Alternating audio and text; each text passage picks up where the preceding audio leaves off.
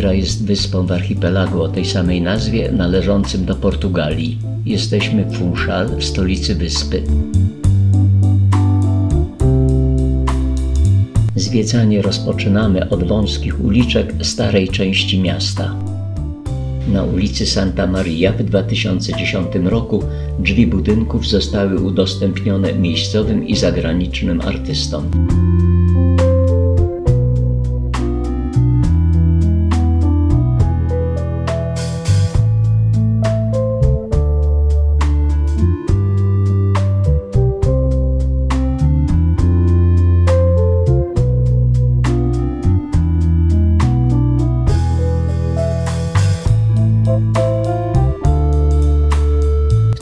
Budynku mieści się najsłynniejszy targ Madery Mercado dos Lavadores.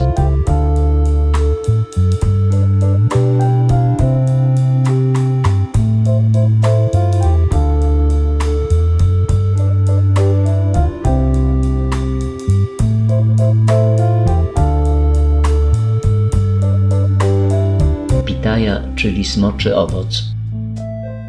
Owoc filodendrona zwany bananem ananasowym. Pomidor drzewny.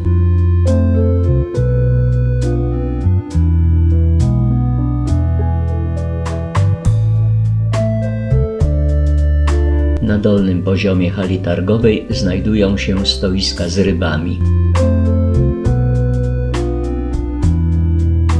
Pałasz czarny, czyli espada, to ryba drapieżna poławiana na głębokości około 1 km. Tuńczyk przygotowany do sprzedaży.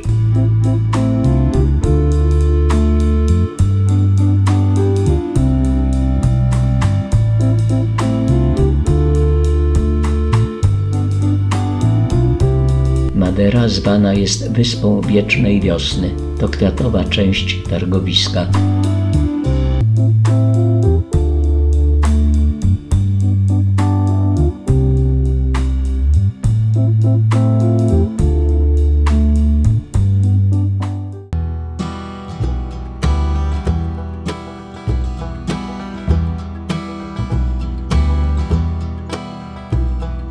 Kolejka gondolowa z Funchal na górę Monte. Jej górna stacja jest na wysokości 560 metrów. Jedziemy do ogrodu botanicznego.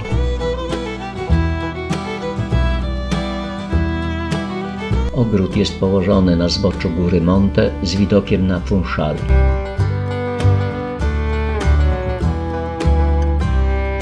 Magnolia. Brumelie.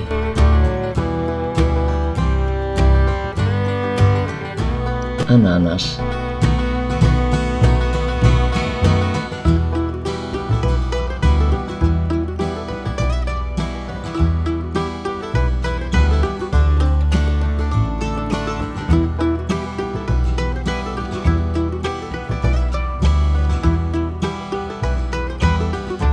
Paprocie drzewiaste.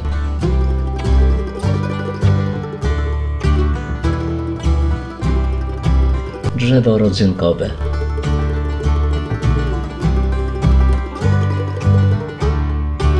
Papirus.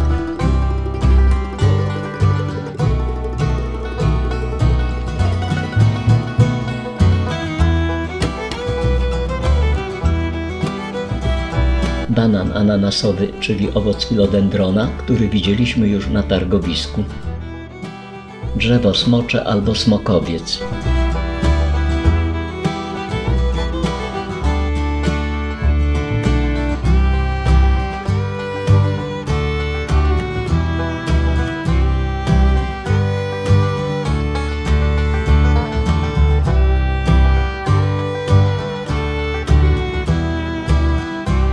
Agawy. Drzewo pieprzowe.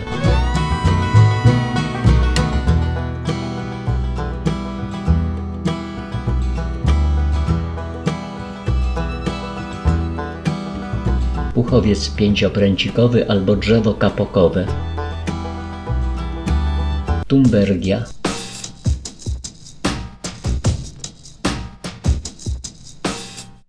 Wielki dywan kwiatowy, którego powierzchnia wynosi 8000 m2.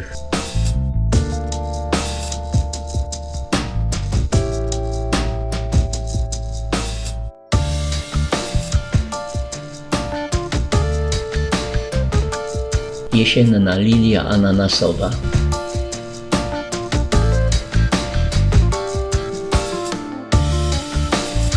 Bugenwilia.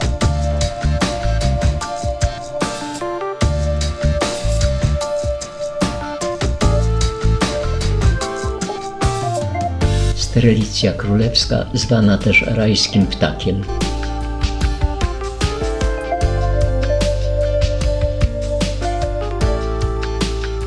Strelicja bez kwiatów.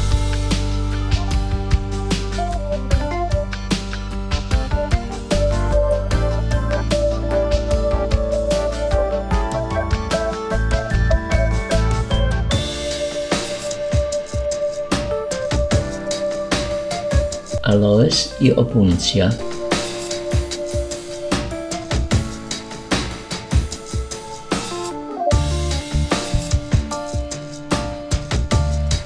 Agawa łabędzia szyja.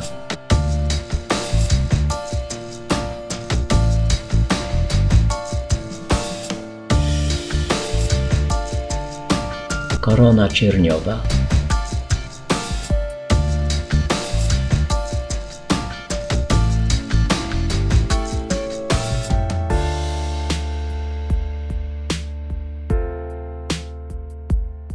Jabłko budyniowe.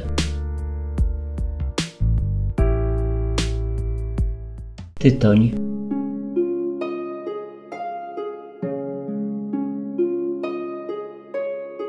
Sagowiec odwinięty jest rośliną rozdzielnopłciową.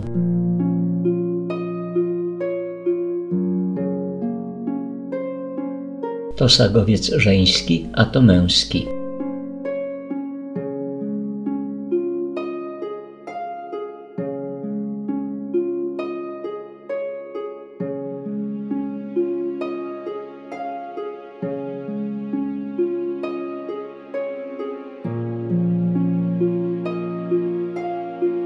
Z ogrodu botanicznego przenosimy się do winiarni.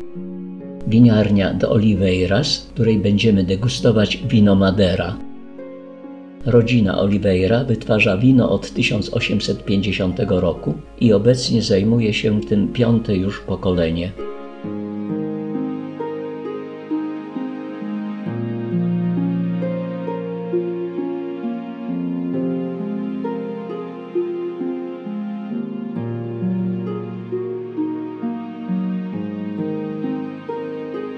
Katedra Funchal z końca XV wieku. We wnętrzu przeprowadzany jest remont i z wystroju katedry niewiele można zobaczyć. Katedra jest pod wezwaniem w niebowzięcia Najświętszej Marii Panny. Przetrwała praktycznie nietknięta od pierwszego okresu kolonizacji Madery.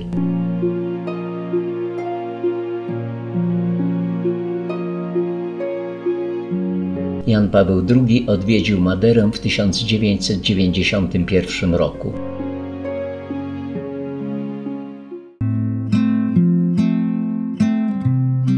Monument Pokój i Wolność.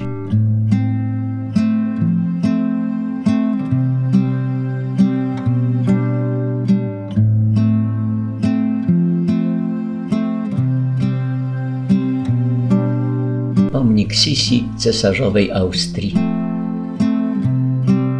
Park Świętej Katarzyny, zwany także Parkiem Miejskim.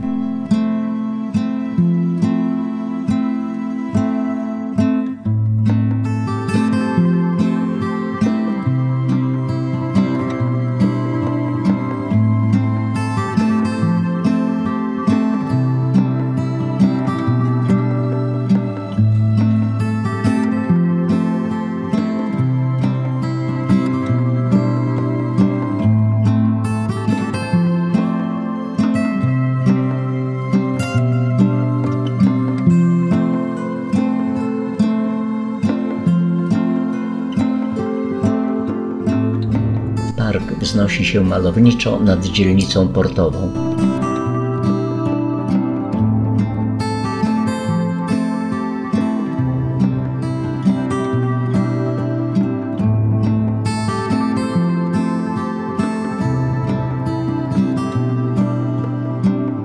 parku jest niewielka kaplica świętej Katarzyny, w której po raz pierwszy w historii wyspy odprawiono mszę świętą. Pobliżu wybudowano pomnik Henryka Żeglarza. Rondo Książęce. Teatr Miejski. Inauguracja miała miejsce w 1888 roku. Kawiarnia i restauracja Ritz przy głównej ulicy miasta została otwarta w 1905 roku. Na fasadzie sceny z ręcznie malowanych płytek ceramicznych, tzw. Tak azulejos. Na Maderze odbywa się Festiwal Kwiatów, w tym roku ze względu na epidemię COVID nie tylko w maju, ale także w październiku. Dywan kwietny na głównej ulicy Funchal.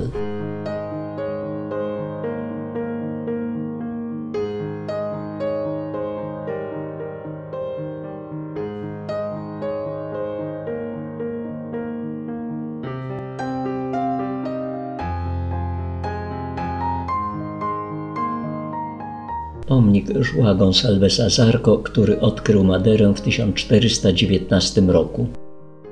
Pomnik stoi przed budynkiem Banku Portugalskiego. Muzeum Sztuki Sakralnej w dawnym Pałacu Biskupim przy Placu Miejskim. Naprzeciw muzeum stoi kościół świętego Jana Ewangelisty wzniesiony w XVII wieku przez jezuitów.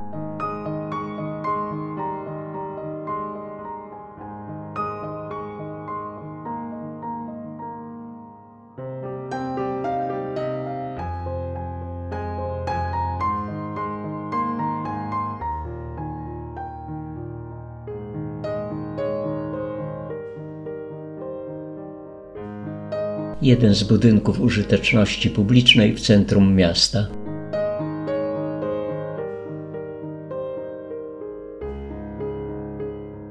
Ratusz z 1758 roku do 1820 roku był domem rodziny hrabiego Carvalhau.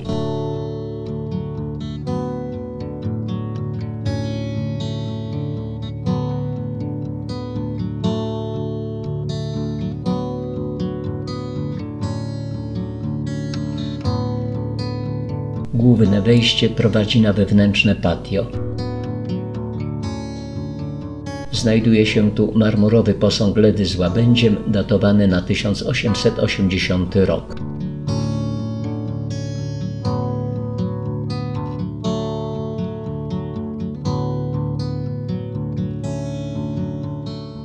Niedaleko katedry trafiamy na występ zespołu folklorystycznego odbywający się w ramach Festiwalu Kwiatów.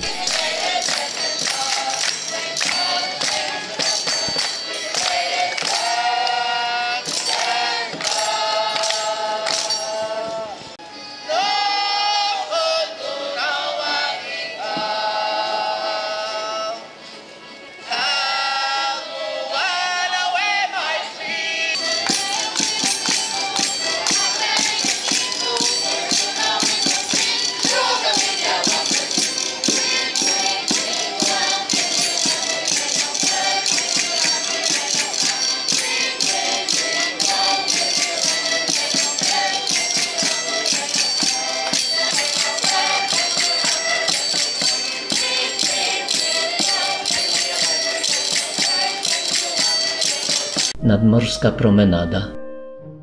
Pałac i twierdza świętego Wawrzyńca z XVII wieku. Znajduje się tu Muzeum Wojskowości.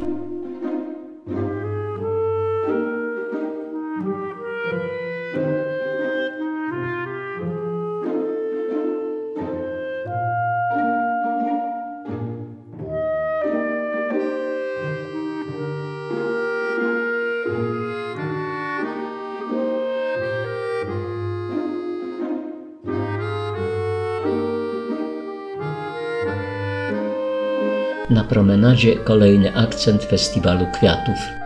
Pomnik Cristiano Ronaldo, który urodził się w Funchal.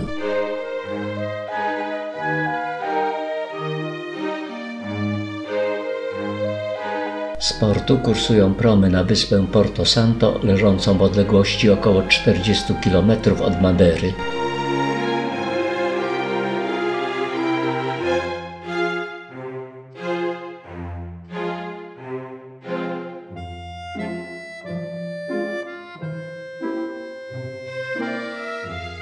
Następnego dnia wczesnym rankiem wyjeżdżamy na zwiedzanie wyspy.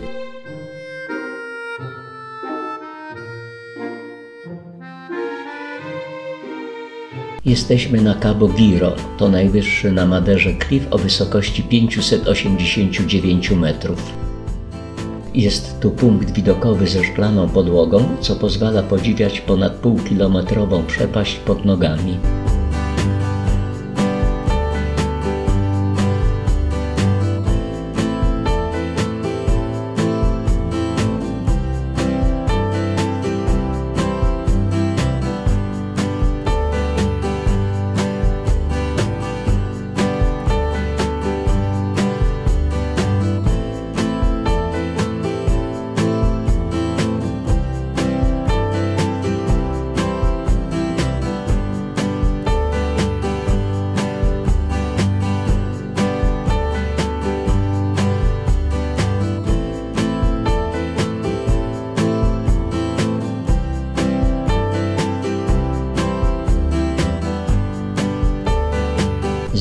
Zjeżdżamy teraz do poziomu morza prawie 600 metrów w dół. Ribeira Brava otrzymała prawa miejskie w 1914 roku. Liczy około 6 tysięcy mieszkańców.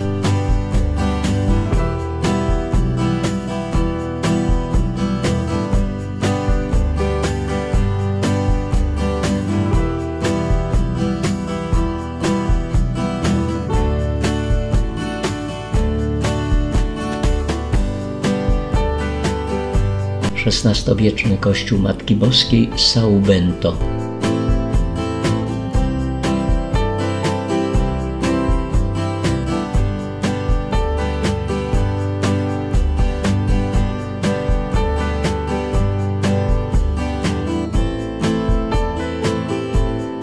Wnętrze jest ozdobione bogatą dekoracją rzeźbiarską.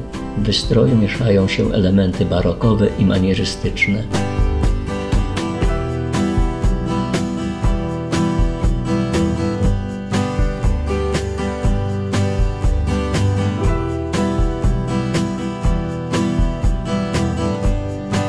Ribeira Brava, czyli Dzika Rzeka i jej ujście do oceanu.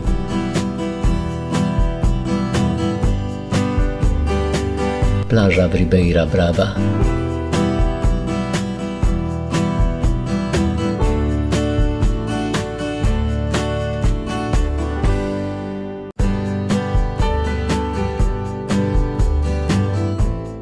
Przenosimy się teraz na plantację bananów we wsi Lugar de. Takie grono bananów waży około 40 kg.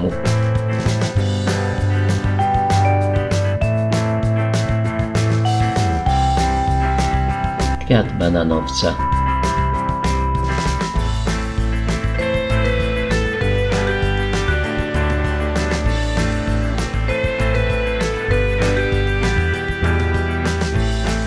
Jedziemy teraz na północną stronę wyspy.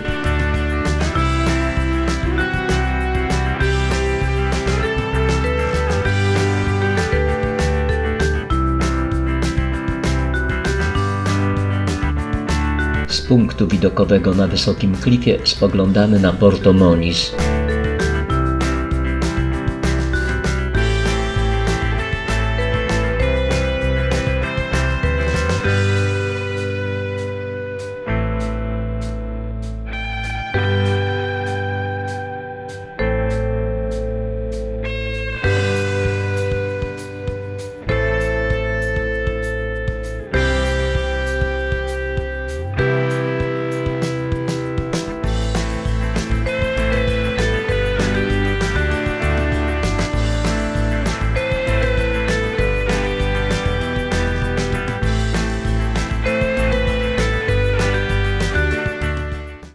Moniz słynie z pięknych naturalnych basenów pomiędzy skałami utworzonymi przez lawę wulkaniczną.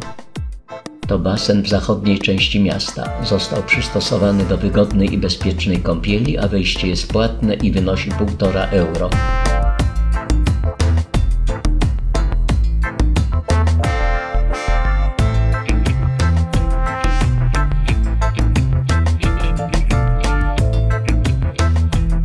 Mamy tu okazję podziwiać naturalny krajobraz Madery i niecodzienny widok oceanicznych fal rozbijających się o skały.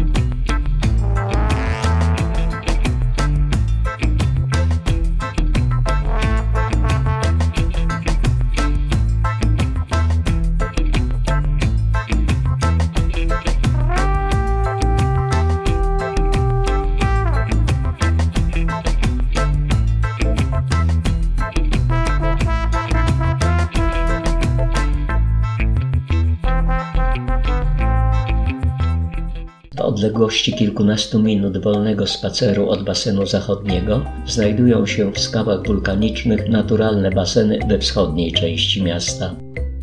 Tutaj dno i brzegi basenów nie są w żaden sposób zabezpieczone i trzeba być ostrożnym, by nie zranić się o ostre skały.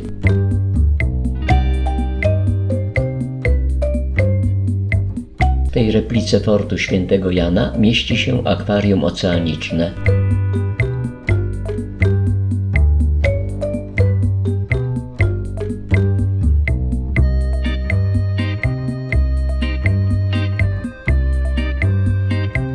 Jeszcze jeden piękny, naturalny basen.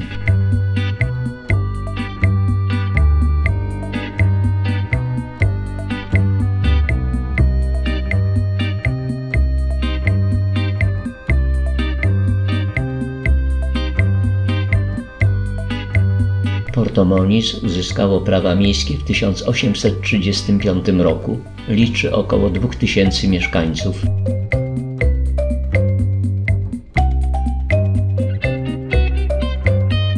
Tutaj widać, jak ocean dba o to, by woda w naturalnych basenach była świeża i krystalicznie czysta.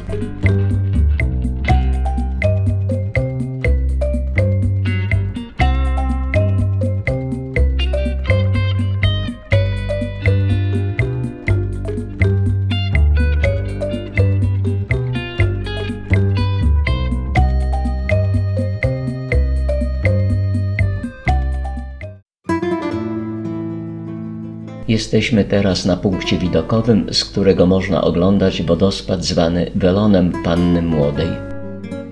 Wodospad znajduje się w pobliżu wsi Seychal, malowniczo położonej nad oceanem.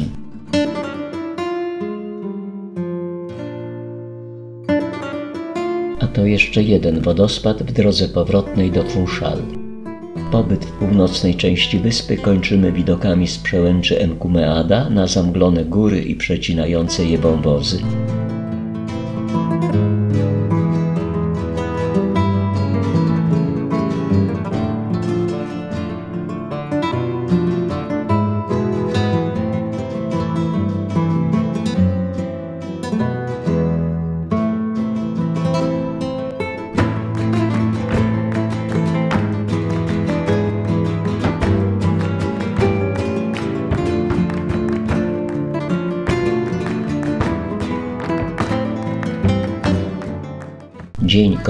Camara de Lobos, drugim co do wielkości mieście na Maderze, liczącym 35 tysięcy mieszkańców.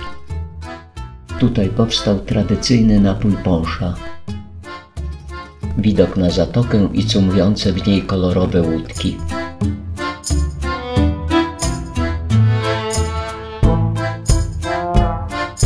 Nad miastem wznoszą się plantacje bananów.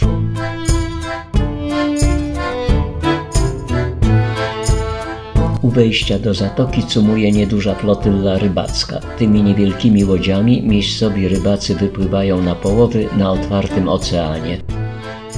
Prezentację działającego w mieście Stowarzyszenia Miłośników Sztuki o nazwie Teatro Metafora.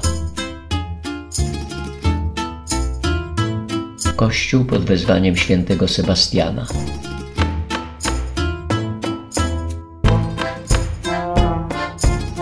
Barokowy złocony ołtarz.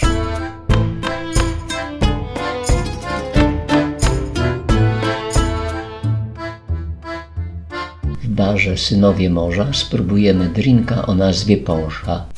Barmanka prezentuje krótki pokaz przygotowania. Najpierw ubija cytrynę, następnie dodaje świeżo wyciśnięty sok pomarańczowy, doda jeszcze 50% biały rum i drink o zawartości 25% alkoholu gotowy.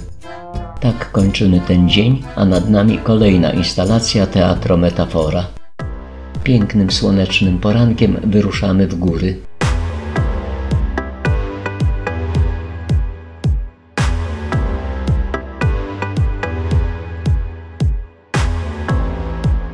Czeka nas 11-kilometrowy trekking wzdłuż Lewad. Lewady to kanały typowe dla Madery, służą do transportowania wody z północy na południe wyspy. Rozpoczynamy wędrówkę na wysokości 1290 metrów i będziemy schodzić na 900 metrów.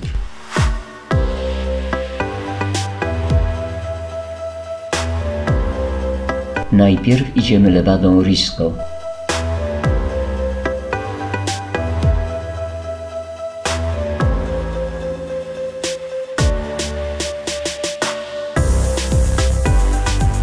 towarzyszą nam brzoźce drzewiaste i drzewa wawrzynowe. Są także ogromne mniszki lekarskie.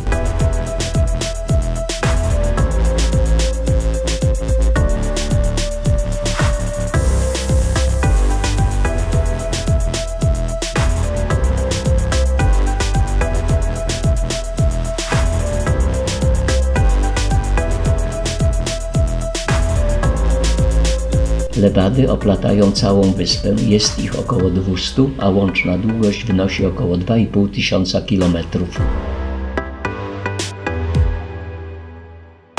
W oddali widać już wodospad Risco.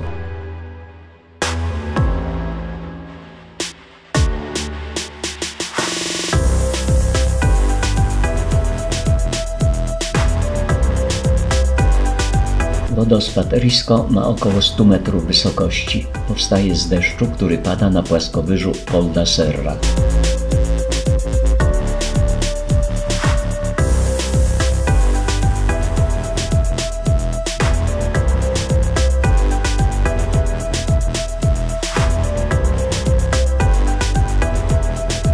Zięba maderska w ogóle nie boi się turystów i wręcz prosi o jedzenie.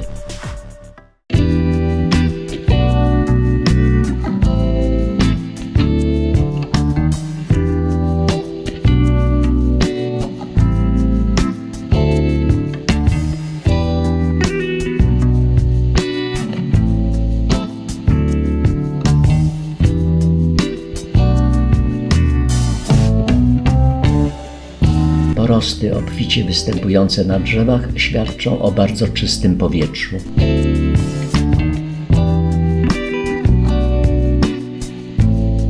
Z lewady Riska przeszliśmy na lewadę nazwaną 25 źródeł.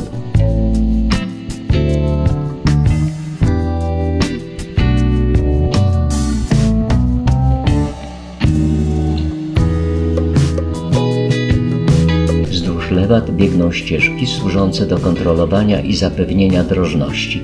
Obecnie wiele z tych ścieżek to trasy spacerowe i atrakcja turystyczna. Miejscami ścieżka jest tak wąska, że aby się minąć z idącymi sprzeciwka, trzeba wejść na murek kanału. Pierwsze lewady zostały wybudowane w XVI wieku dla nawodnienia upraw owoców, trzciny cukrowej i bananowców znajdujących się na południu wyspy.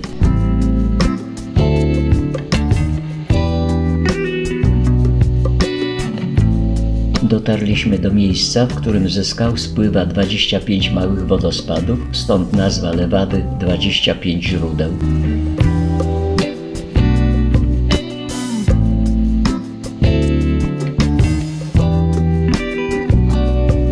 Miejscach bardziej niebezpiecznych, prowadzących nad przepaścią, zamontowano barierki.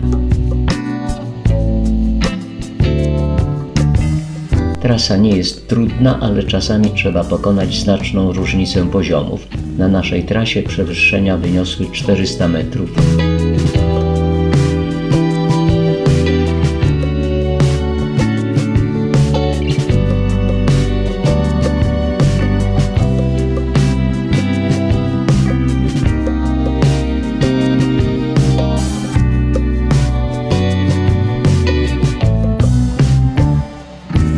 Końcówce trasy musimy pokonać wykuty w skałach ciemny tunel o błotnistym podłożu. Jego długość wynosi 800 metrów.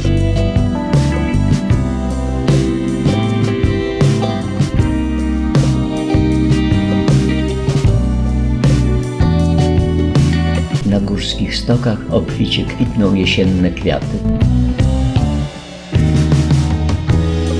Późnym popołudniem wracamy do Funchal.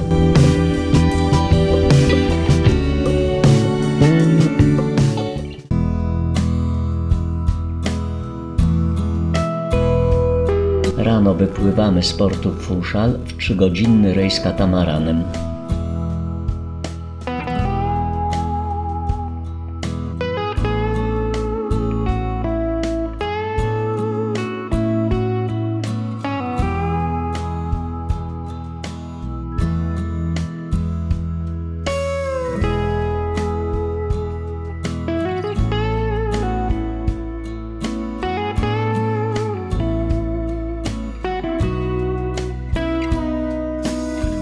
Daje nam możliwość obejrzenia miasta od strony oceanu.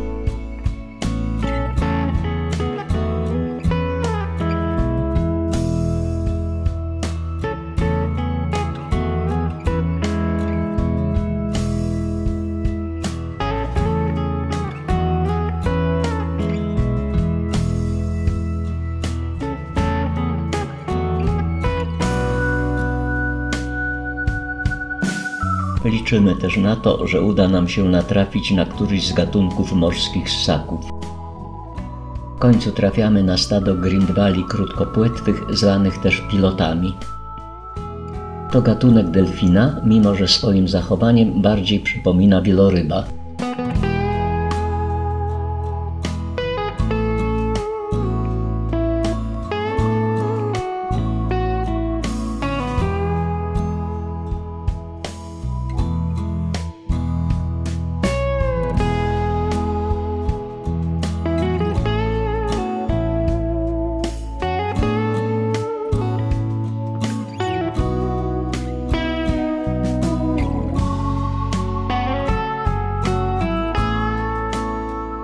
Delfiny te mają skórę koloru czarnego, osiągają długość od 3,5 do 6,5 metra, żyją w stadach liczących od 10 do 30 okazów.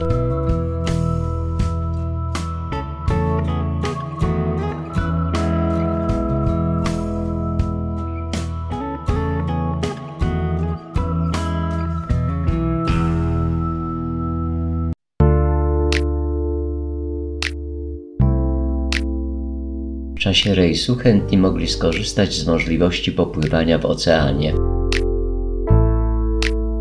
Pliwka Bogiro, na którym byliśmy i spoglądaliśmy w dół przez szklaną podłogę.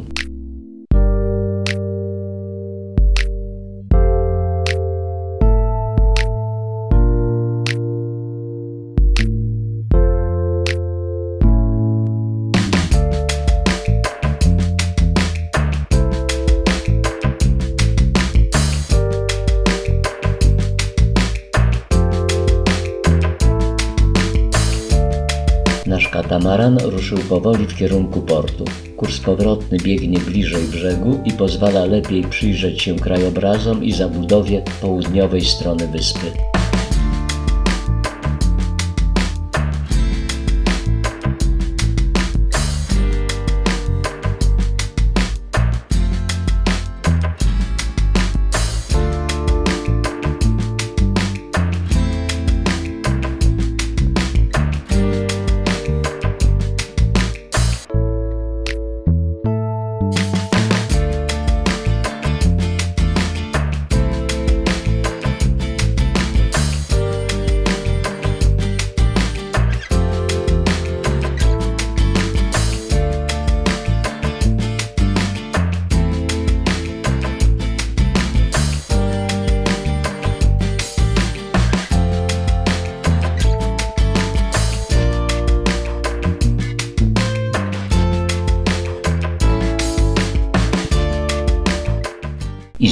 Rankiem wyruszyliśmy w góry.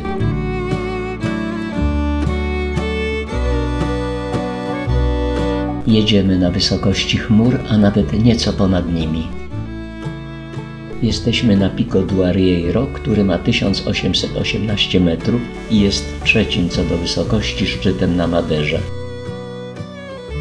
Roztacza się stąd panorama na najwyższe szczyty na wyspie.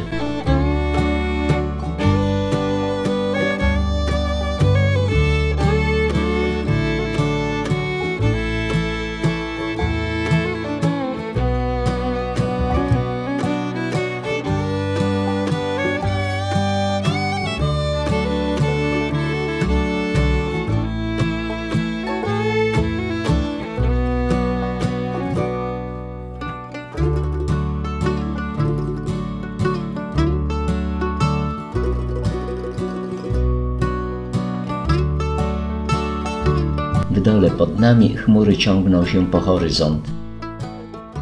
Na Pico du Arriero umieszczono radar pogodowy.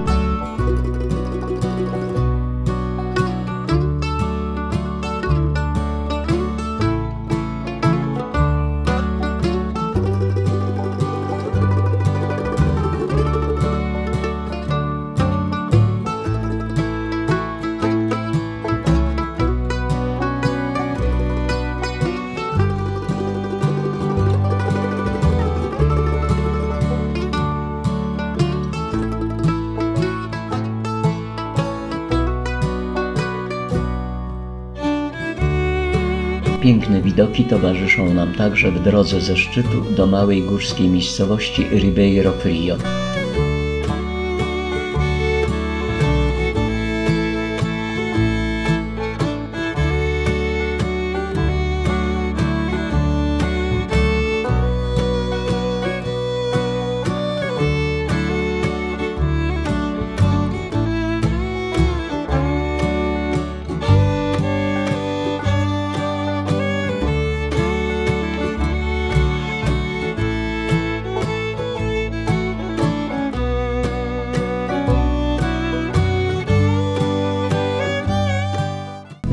Frio słynie ze stawów hodowlanych pstrąga tęczowego.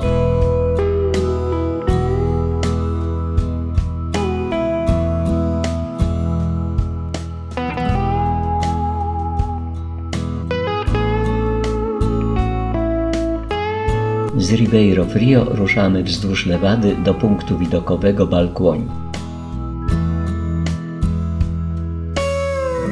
Grzybki o właściwościach leczniczych.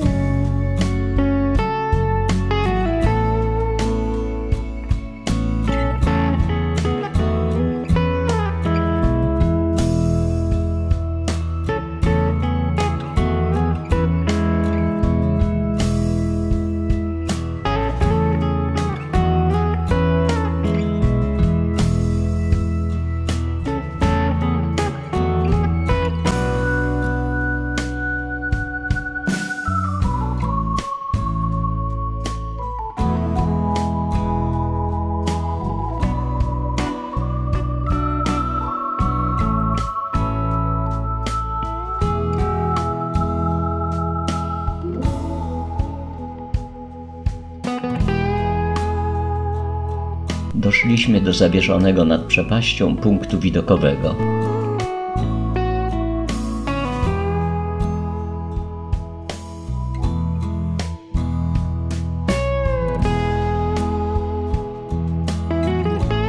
Otaczają nas spowite mgłą ostre szczyty gór.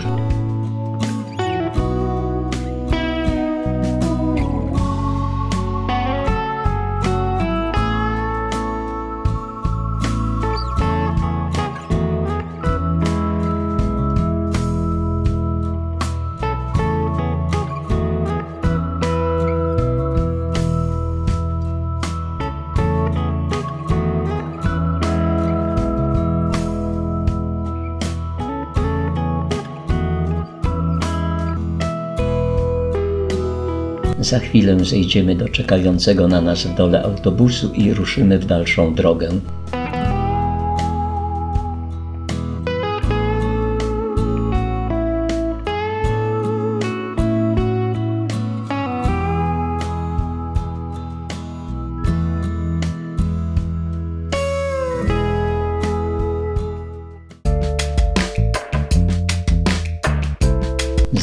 Zatrzymujemy się na krótki postój w kolejnym malowniczym zakątku wyspy.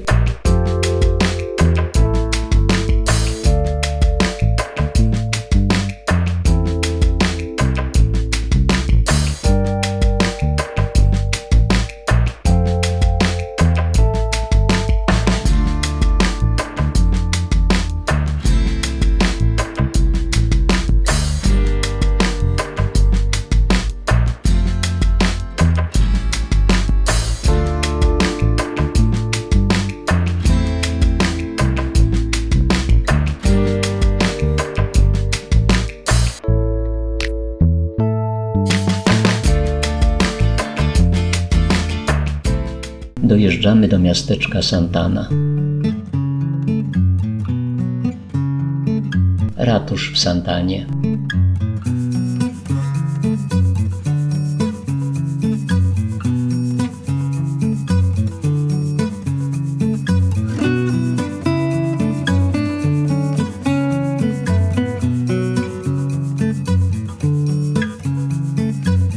Santanie można obejrzeć charakterystyczne małe chatki kryte strzechą. Wyglądają tak, jakby były przeniesione z jakiejś bajki. W tej mieści się kwiaciarnia.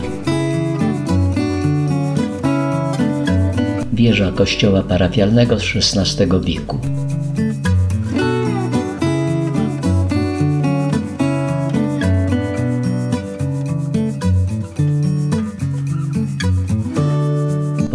Ratusza stoi kilka trójkątnych domków. Powstawały one już od XVI wieku i były domkami mieszkalnymi. We wnętrzach są różnego rodzaju sklepiki.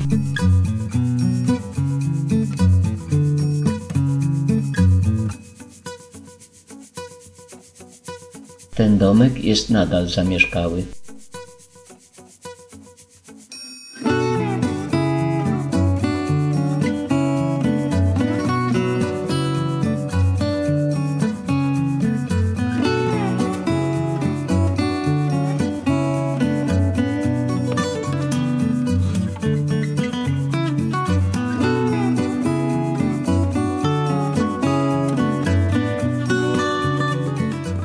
Z Santany jedziemy na półwysep Świętego Wawrzyńca we wschodniej części Madery. Na półwyspie panuje półpustynny mikroklimat i nie ma tu drzew. Dech w piersiach zapierają ogromne klify pionowo spadające do oceanu.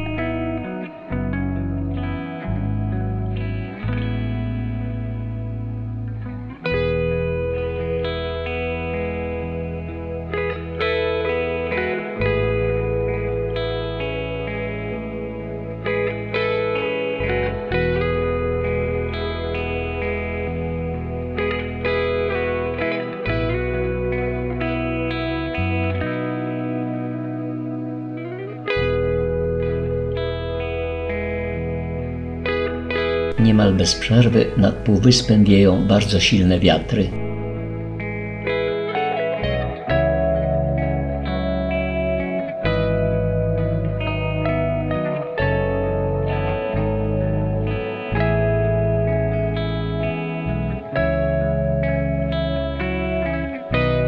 Odjeżdżamy z tego miejsca, które jest zupełnie inne niż pozostałe części wyspy.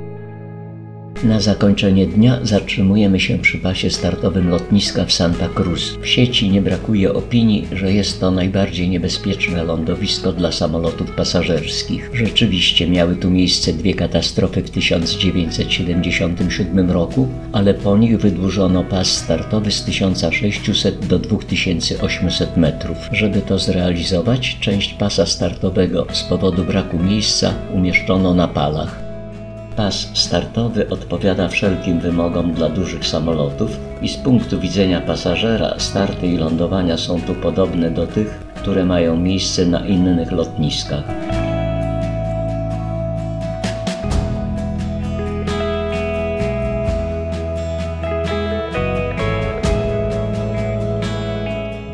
Nasz pobyt na wyspie powoli zmierza ku końcowi. Dzisiaj będziemy objeżdżać wyspę jeepami. Zaczynamy od miasteczka Ponta du Sol, które jest znane jako miejsce o największym nasłonecznieniu na wyspie. Ponta du Sol otrzymało prawa miejskie w 1501 roku. Obecnie liczy 4000 mieszkańców.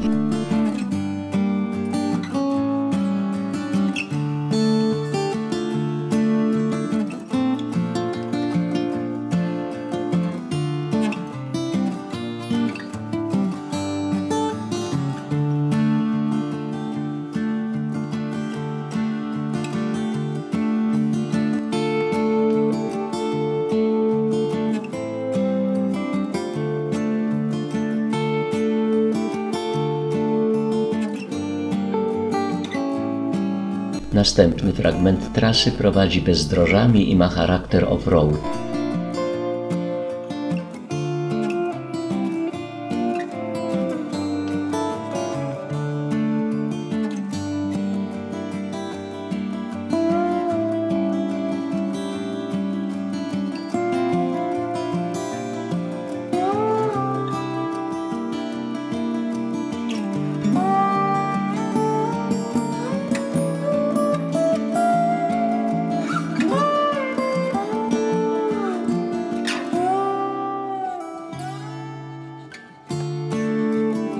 Opuściliśmy jeepy, które odbiorą nas wyżej i ruszyliśmy na przechadzkę wzdłuż jednej z lewat.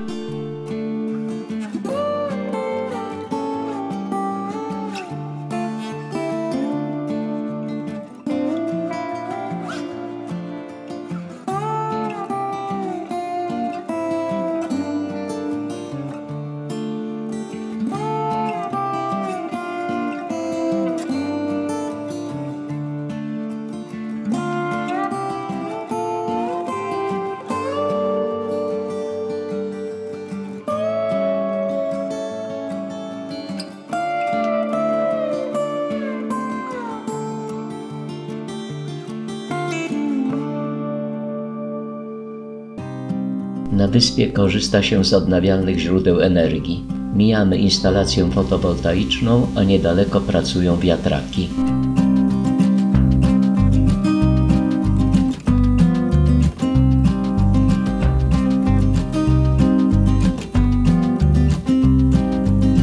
Dotarliśmy na płaskowyż Polda Serra. Bardzo często jest on spowity mgłą.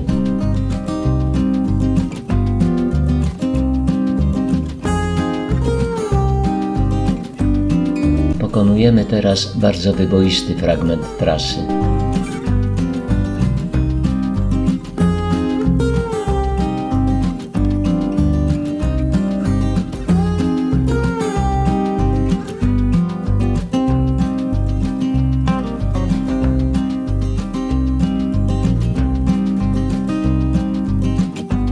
Krótki postój na odpoczynek i rozprostowanie nóg.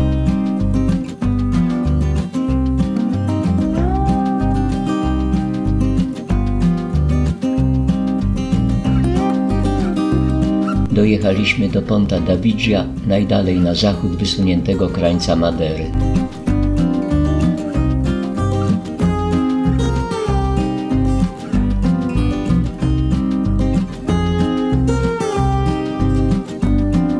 Jest tu najwyżej położona w Portugalii latarnia morska.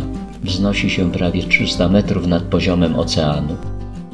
Mijając kolejne miejscowości, kontynuujemy nasz objazd wyspy jeepami.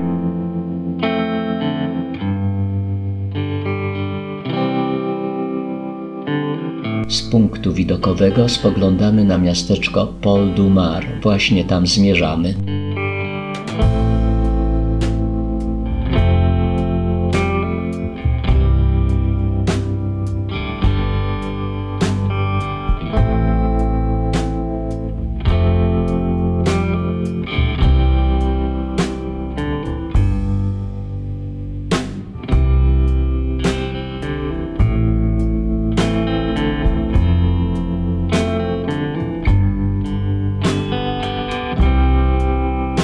Krótką wizytę rozpoczynamy od spaceru wąskimi uliczkami.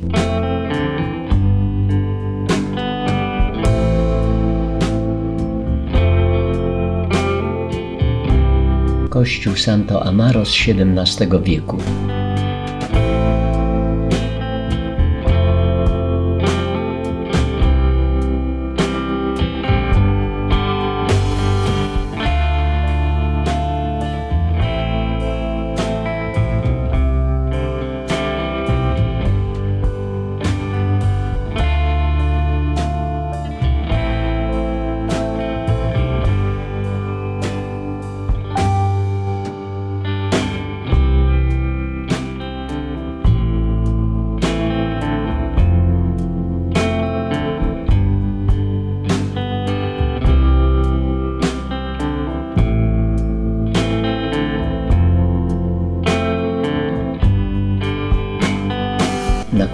Objazdu zatrzymujemy się w Kaliecie na degustację rumu aguardente produkowanego z trzciny cukrowej.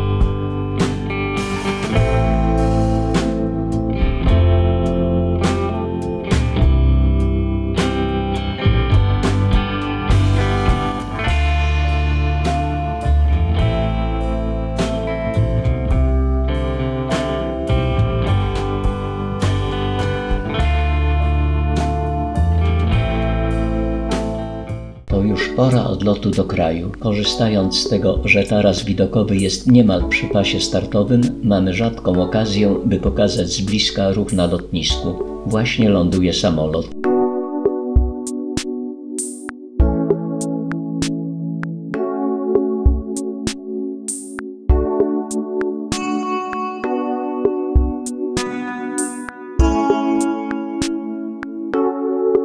A to ląduje samolot, który zabierze nas do kraju.